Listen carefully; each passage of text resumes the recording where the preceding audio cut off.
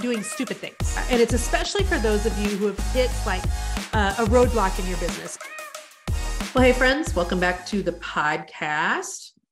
This is going to be a fun episode today. I'm going to talk to you about um, like the top five business books that I have read recently and um, and just give you some thoughts on them. For those of you who are looking for some good summer reads uh, who need something to put in your earbud as you're flying on a plane who you know just um, love to listen to things on audible what have you i thought i um, would do a podcast on some things. I actually mentioned a book um, on one of my recent episodes that I love. That's not on this list of five, but I'm just going to mention again. Um, it's called Die with Zero, and I haven't read it like recently, but it's one that I just recently mentioned on a podcast.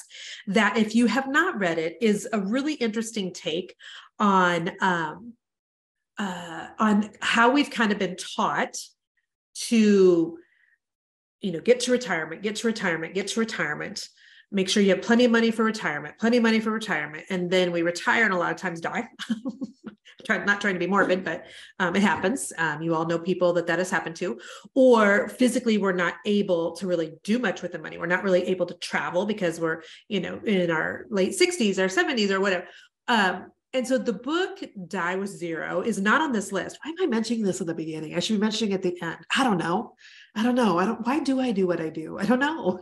Um, but it basically talks about how a lot of times also by the time our parents pass away, we're past for the majority of people the time where we could have used money the most so um, like both of my parents are still alive for instance they're both in their 70s and you know jason and i in the last it's been in the last five six seven years when things financially have really changed for us it was before that. It was in our 20s. It was in our 30s. It was in our 40s. Like that's when we really could have used like help financially or um, you know would have loved to have taken family vacations that sort of thing.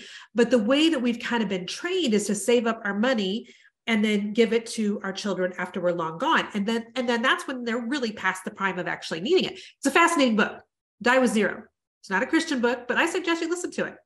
Okay, now on with the podcast. that was not even on my list. Okay, just sidebar, just squirrel, sidebar. Okay, the five books that I do have on my list, write these down because I've got some interesting books here for you. Okay, so the number or number one. So the first one is these are in no particular order. It's called The Power of One by Ed Mylett, and this is front and center on my mind. First of all, because I am in um, the Wellspring Mastermind, and Ed Mylett is our guest today. So I actually downloaded this book on Audible a couple of months ago. I'm about halfway through it. I still need to finish it. Um, I like listening to books on Audible. First of all, I also really like Ed Mylett's voice. His voice is very soothing to me, kind of uh, almost like the guy that does like um, Dateline NBC or, you know, 2020 or, you know, one of those shows. Like it's just kind of therapeutic. But Ed is actually speaking to my mastermind today. I'm in the middle of listening to his book. Um, I heard him talking about his book on his podcast, and I've heard him talk before about um, the way he was raised with an alcoholic father and um, and how his father eventually got sober and how that changed the trajectory of his life and his entire family's life. So we've got some commonalities there. And um, and so it's a it's a good it's a good listen. I'll just tell you that. Um, so it's called the power of one more and suggest you go listen to that and i still need to get that one finished. Um, number two is get a grip. And so get a grip is by um, uh, uh, Gino Wickman and Mike is it Paton. Um, there's another Get a Grip that is, if you go looking for it on Amazon, but it's not by that. It's by Gino Wickman and Mike Paton. So um, it is like, how do I describe this book? It's it's a story about a company called Swan Services, and this is it's a fable. Okay, so it's it's not actually you know real, but it's a story about how this company was being run and how this company had kind of reached um, some roadblocks and how they needed to shift some things around and get the right people in the right role, um, how to assess and hire different people, how to get people with shared values. Um, it's it's um, a lot about EOS um, and entrepreneurial operating systems, which I didn't love that book, but this is interesting the reason I started this book, and I think I just have a couple hours left on it. Uh, does anybody else like you start 10 books all at the same time and then you just have to determine which one you feel like finishing first so that's the case here but my team wanted me to listen to this and i will tell you that i stopped it more than once because i kind of felt um how do i say this in a way that doesn't make me sound horrible i kind of felt like oh did my team want me to listen to this because i am doing a bad job managing and that is not it at all. First of all, I had to like check my ego. It's a really good listen. It made me stop. It has made me stop and think and pause about different things in the company and getting people, the right people into the right seats, etc. And it's especially for those of you who have hit like uh, a roadblock in your business. Maybe you've gotten to a point where you haven't been able to grow past that and you're super frustrated um, with it. If that's the case, I think this is a book that you would definitely like. It's called Get a Grip. Okay. Number third, number third. Number three, number third, we're going to just say that from now on. Okay. Number third. Number third is a book called The Road Less Stupid by Keith Cunningham. So, um, my friend Brian Dixon uh, likes to post on his Instagram stories things that he's listening or to or things that he's reading. And by the way, he reads about 10 times more than I do. Um, but he's the one that I saw suggest this book. And what's really funny is so here's what happens when I see people suggest a book that looks really good. Like I go find the book, I do a screenshot of it, or I go ahead and buy it, put in my Audible or whatever. And so a couple weeks ago, I um, I sent Brian a text and I'm like, hey, I think that you would love this book. It's called The Road Less Stupid by Keith Cunningham. If you haven't read it yet, you need to. And he goes, Yeah, I'm pretty sure you found out about that book from me. oh, that's funny. Uh, anyway, 80%, folks. 80%. If you don't know what that means, it means that my brain is only able to get about 80% of the things right about 80% of the time. So, anyway, so um, Brian is the one that I got this book for. And The Road Less Stupid is a book about um, that the key to success, like the key to um, making money and keeping money, is basically to stop doing stupid things. It's not necessarily that you need to do a whole bunch of smart things, but you need to quit doing stupid things. And I think that it's such a fascinating listen. Um, I highly suggest that um, you listen to it. Uh, the voice is just phenomenal, and um, and the way that they do each chapter is they give like thinking time. Um, and they tell you at the end basically how you just need to go sit and think and what you need to sit and think about. And then the um, the Keith Cunningham who's reading the book, he always says, "Now go think. You'll thank me for it later at the end of every episode. The reason I love that is this. I can remember back when I had my painting company, you know, and I started that company back in the year 2000. And different times I would walk onto, let's say, a job site for new construction. That's usually where this conversation would happen. I would walk onto a job site and I would have anywhere between two and eight girls at any given home working painting for me. So I'd walk onto a job site, which is inevitably full of other subs. You know, we've got electricians, we've got tile guys, we've got people laying carpet, what have you. And inevitably, people would say things like, uh oh, boss lady's here. Uh oh, get back to work, girl. She's here now. And then it would always transform or transfer into something like, so, so they're out here, you know, working like crazy. What are you doing? To which I would always say, I get paid to think. And I used to say it in a snarky way.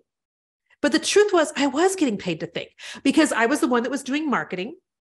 I was the one that was trying to think of how we could get on Extreme Home Makeover, how we could get this house, you know, on the Parade of Homes, how I could get with new designers. I was the one that was like brainstorming and thinking, et cetera, et cetera.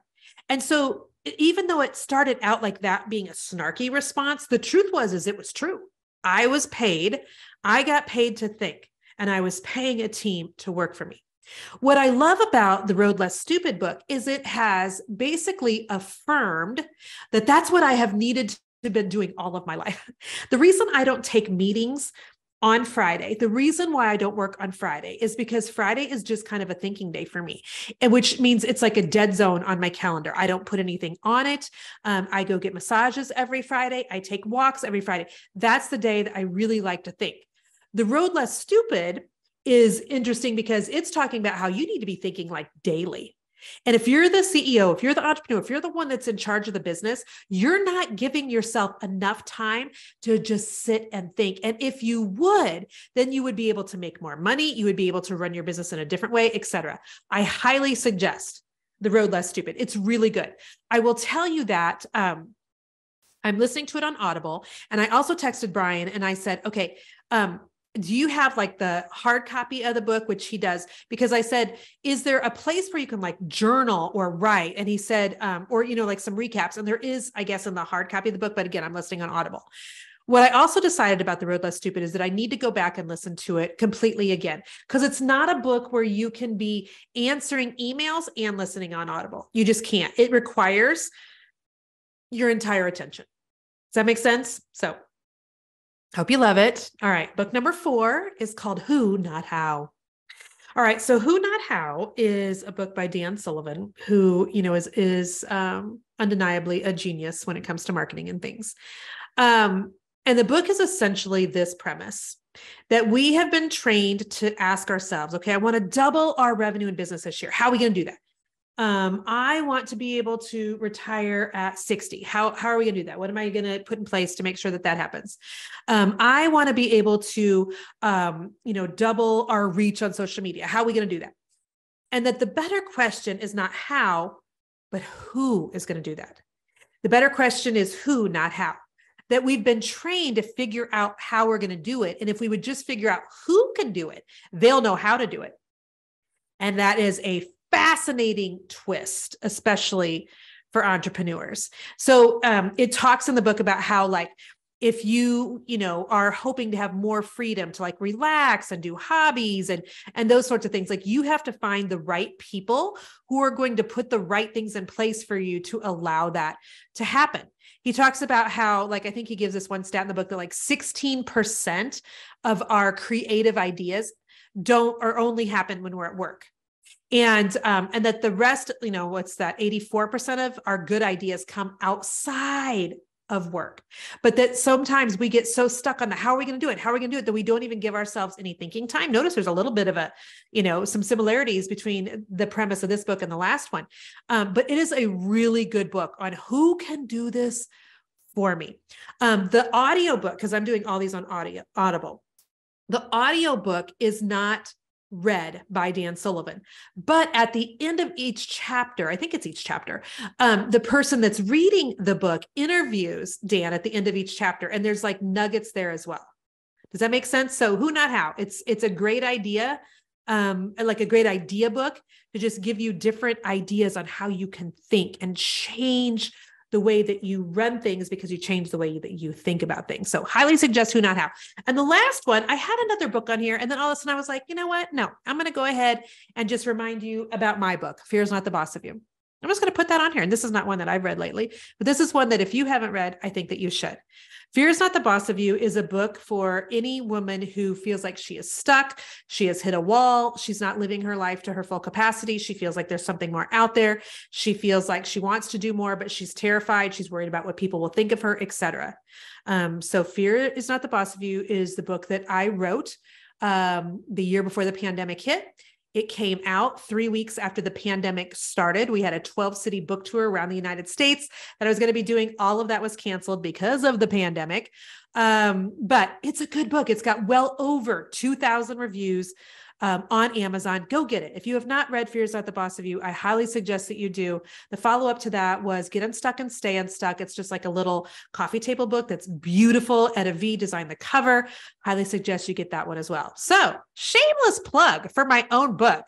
I was gonna I was gonna do another one, then I was like that. But then I did give you the um the die with zero at the at the beginning. So you actually did get five other books plus my book in this podcast. So I hope that this was helpful. I'd love to know if you've read any of these books. I'd love to know what you think of them. Send me a DM on Instagram if you want to. Um, as always, I just appreciate and love you being here. And can I just say, if you have read Fear is Not the Boss of You and you are one of those 2,000 people who went to Amazon and left a review, thank you. Thank you. There are millions of books on Amazon. The majority of them never get to 2,000 reviews. So thank you for that. And if you're somebody who gets something out of my podcast on a regular basis, if you've never left me a review in my podcast, would you go do that?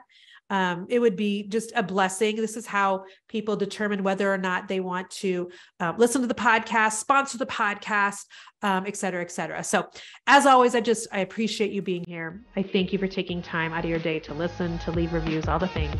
Hope you have an incredible week, my friends. Bye bye.